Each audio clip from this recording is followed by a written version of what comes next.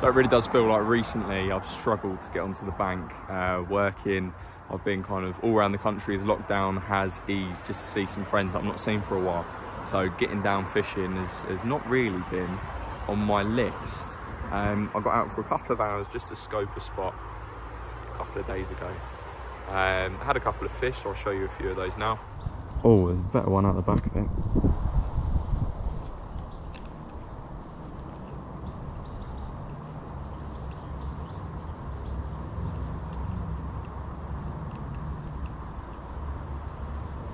go on. Oh, told you there was a better one out the back of it.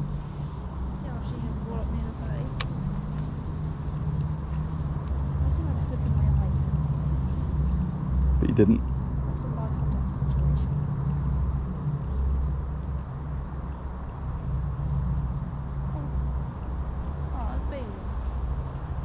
Go on. There you go. Bigger one. I know behind it. I know. I thought there was a better one behind it.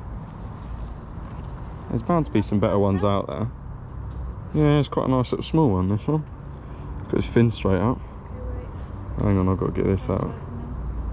Hang on, let me just get this out. It's just a photo of you. a bit close to him. There we go. There you go. Real tiny little thing. Definitely a bigger one behind that though. Yeah, they followed it. Yeah. Sometimes what you'll have is it happens quite often when you're perch fishing with pike. You'll catch a perch. Uh, no, I should be able to swing this one. That's a better one. Look at that. Good. And he's swallowed the swallowed the lure. The guy we just spoke to went, Oh, and I watched him do it. Makes me want to punch the lights in. there you go. There you go. That's better. What's that? Better perch. Um, I should be able. Look, look at all the perch following it. Yeah. I should be able to just swing him in. On, boy. There you go. That is a much better perch. Do you want me to hold- do you want me to There you go. Just cast it up against that far wall, back of someone's garden, really. And that shad just in his mouth.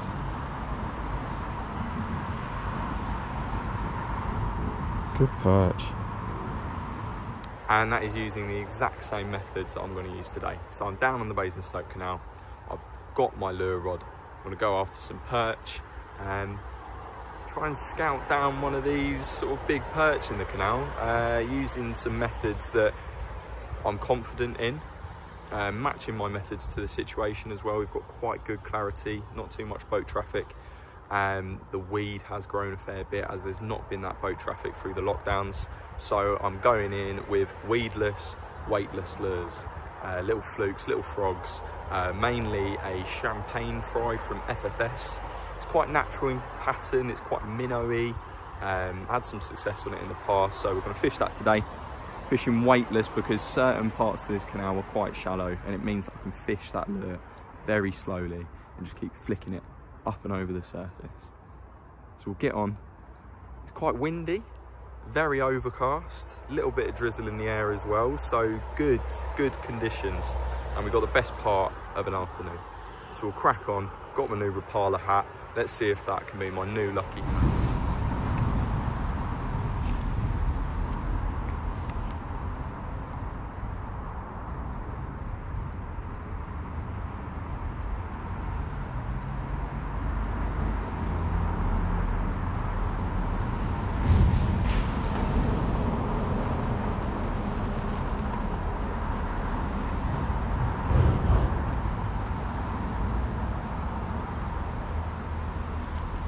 There you go. Just twitching that lure.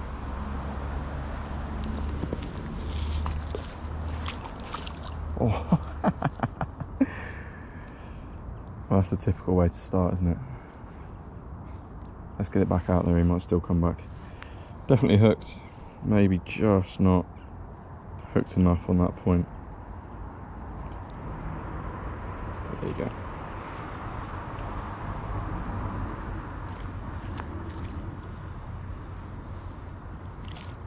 Just a little one.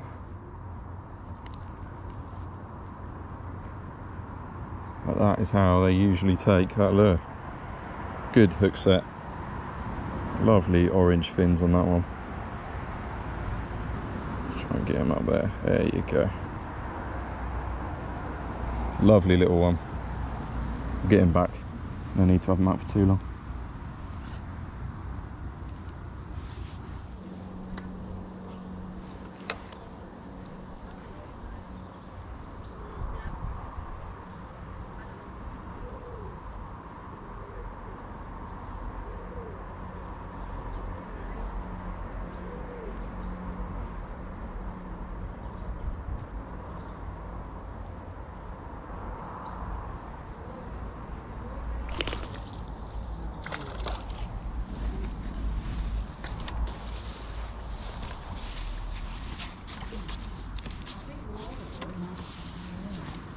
How you doing? You caught anything?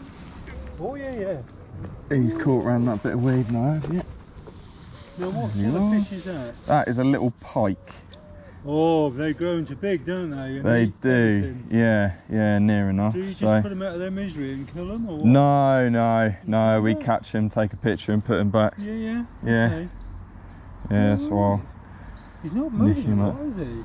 Well, it's because he's caught up in a bit of weed just Oh, there. So um, do you ever he'll sit there. him one clawed black things? Um, what do they call them? move that away. I'll sort that out afterwards. But a lovely little micro pike, which, to be honest, I do quite like catching.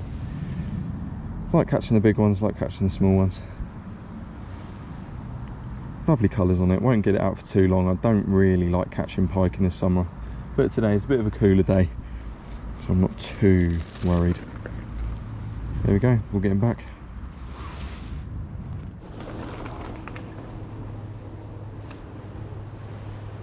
Just gonna try and fish it over these weed beds that have grown up.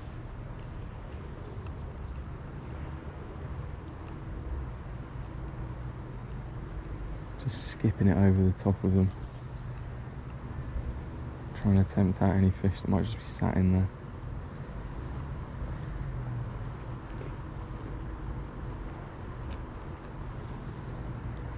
Oh, there was a little tiny little micro pike just appeared. That'd be even smaller than the one I just caught.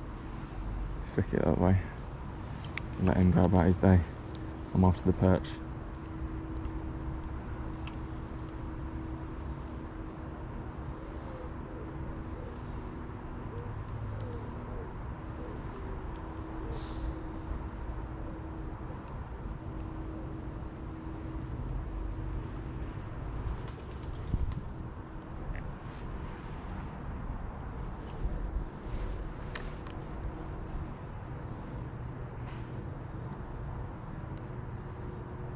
Ooh. I was gonna say something after that. Oh. Something tap tapped and then came again. You could see the little wake behind it. That hook's fine. Put it back there.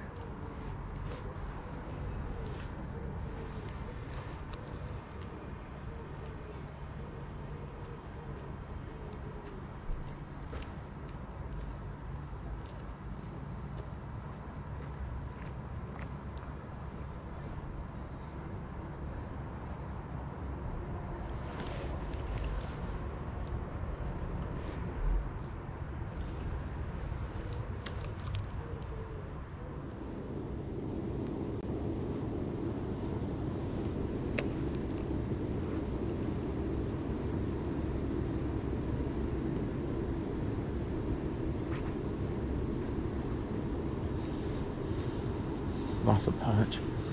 That is a perch and a half.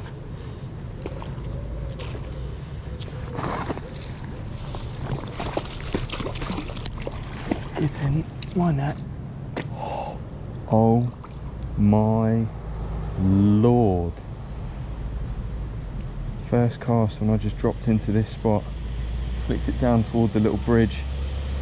A couple of twitches, saw a perch come right behind it. Wow, wow, wow. That is a lovely, lovely fish. Right, let's leave him in the net, sort out the videos. And my mat.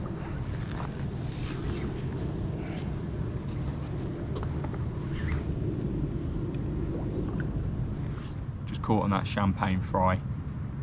You'd have seen it. Couple of twitches, slam. There he was. Um, I think it's a definite PB. Let's get him out. Lucky hat worked.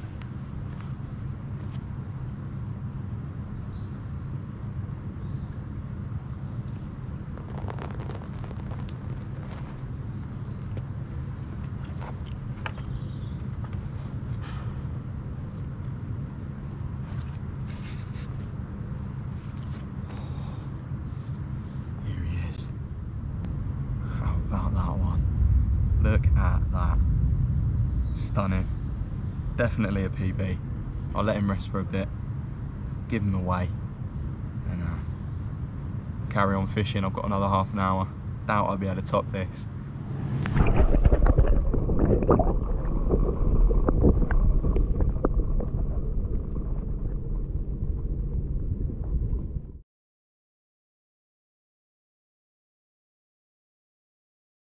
So it's New Year's Day, what better way to get out and start the year off than a bit of fishing. Got the time uh, down on the canal, so it's busy. Everyone trying to walk off their hangover. But we're here, got lures, after some perch. Um, it's a stretch that I have fished, but more for pike when I was with my brother maybe a couple of years ago. Uh, for perch, not really. So it'd be interesting to see if there's much around. Bound to bump into a few other anglers on a, on a similar journey today but it's been mild so I'm gonna go with how I was fishing in the summer so start off weightless um, just flicking the lures trying to use them as almost a bit of a jerk bait just soft plastics see how we go Just using, again, a weightless shad. They brought the uh, water down on the canal. The levels dropped by about 15 centimetres. Just to reduce the pressure on one of the locks that they need to do some work on in the next month. It will eventually drop by 30 centimetres, so you know, a good, good couple of foot.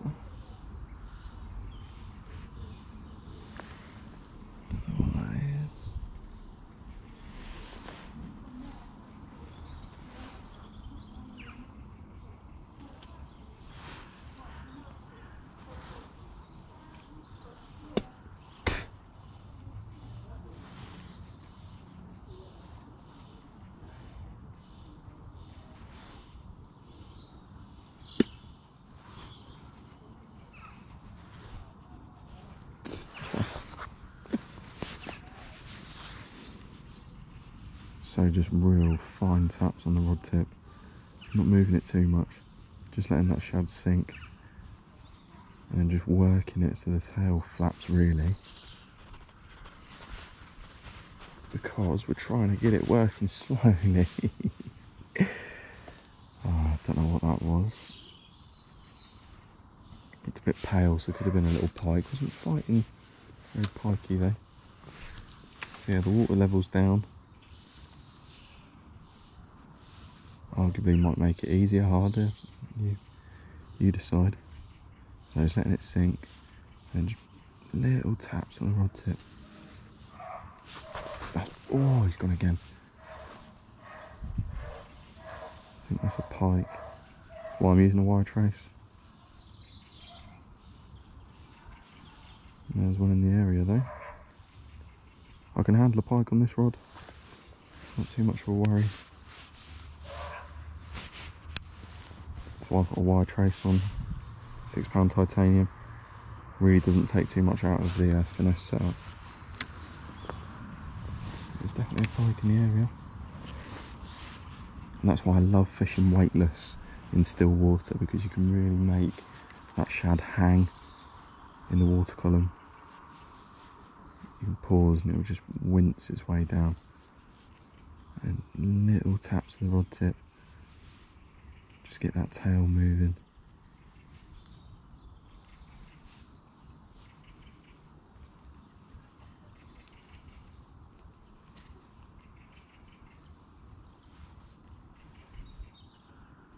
Pauses.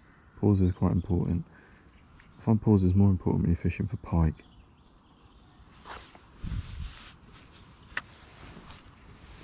Let's go down towards the bridge, give it a bit of a longer run up and fish it quite slowly. So turn, pause, flick, flick, turn. Keep in contact.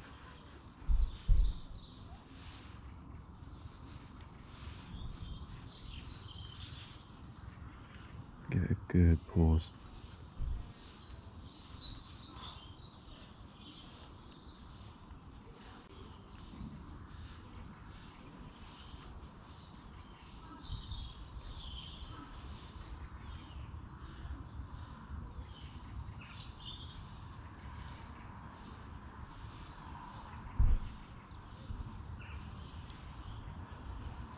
Feels like I'm getting some interest, but it might just be tapping across things underwater.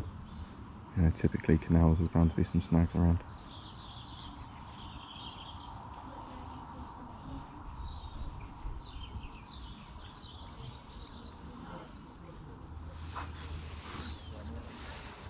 Think I it. So a little flick, let it sink, let it sink. Couple of taps. Gotta try and fight a bit harder this time. Because that looks like a good perch. That looks like a clonker. Oh, boys. Hello. Hello. Check that one out. Let's get him unhooked.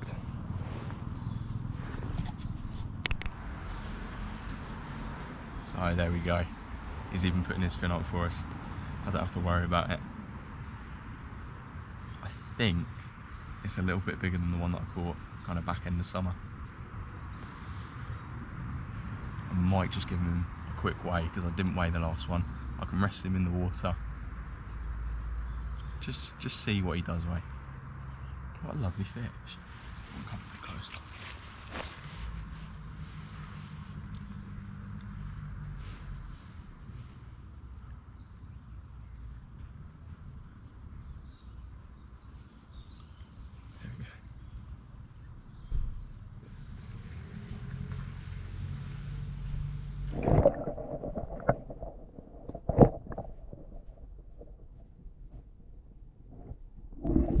Fish's frame was quite similar to the one that I caught in summer, but it was just over a pound, which is quite surprising because that other one was, um, was a pound and a half? Maybe just a bit more. So his frame was quite large, and like actually on my hand, but in kind of body, it wasn't that big. But what a good way to start the year off. Still got about half an hour of light, don't know if we'll top that. Don't know if we'll top that. Um, I've been fishing for what? An hour? Less than that. Half an hour. Probably an hour now that I've messed around with the fish and that, but good start to the year.